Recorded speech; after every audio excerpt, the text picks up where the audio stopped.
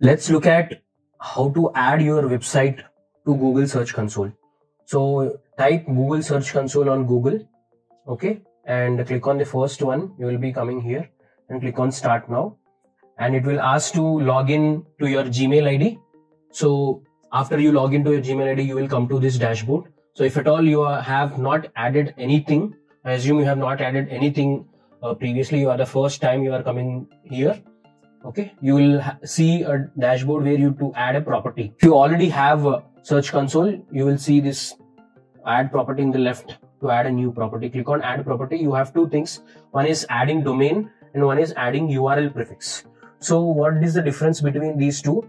If you add domain okay all the versions of your domain like www.https without https with uh, www, without www, everything, uh, all versions of your website will be under this. All the versions will be under this. If you look at this diagram at the top, so this is what domain is. Whole domain is covered, you know, with HTTP version, HTTPS version, with www version, WWS version, or if at all for mobile you have m dot, uh, you know, your domain. These different kinds of versions a website has. No matter what, everything is covered. Here, this one requires DNS verification. So your domain provider or the hosting provider will have DNS verification process. And apart from this one, you have something other called as URL prefix. So whether your URL contains www or HTTP, HTTPS, anything you can add it here.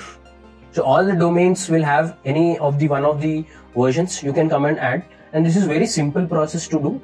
This takes little bit time to do so for example, this one, if, if you already have a GTM tag, if you already have an analytics tag placed on your website, you can verify your website immediately. Within seconds, you can verify using this process. DNS verification process, this will take at least 4 hours and it can extend up to 24 hours. So here it's immediate. You can do the verification very immediately. Okay, let's look at one of uh, our websites. So I'm clicking on continue this has html file option. What you have to do is just download this file okay? You download this file and go to your root folder or the hosting where, where, where you hosting this website go there and upload this file simply that's all. Once you do that just wait for one minute and click on verify it will be verified. And the second one is html tag. So this is a tag meta tag. Copy this one go to the head section of your website okay? In the html you know you have head section and the body section. Okay? In the head section before the body before the first body there will be two body tags. One is opening tag and the closing tag. Okay? So before the body the first tag before the opening tag paste this one. And just wait for one minute and click on verify. This will be verified. And next option is google analytics.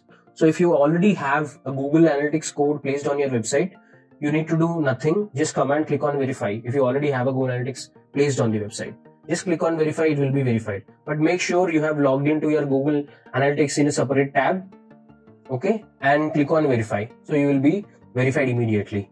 And next Google Tag Manager. So if you have Google Tag Manager placed on your website already, okay, you have to log into your Google Tag Manager separately in the other tab and click on verify. That's all.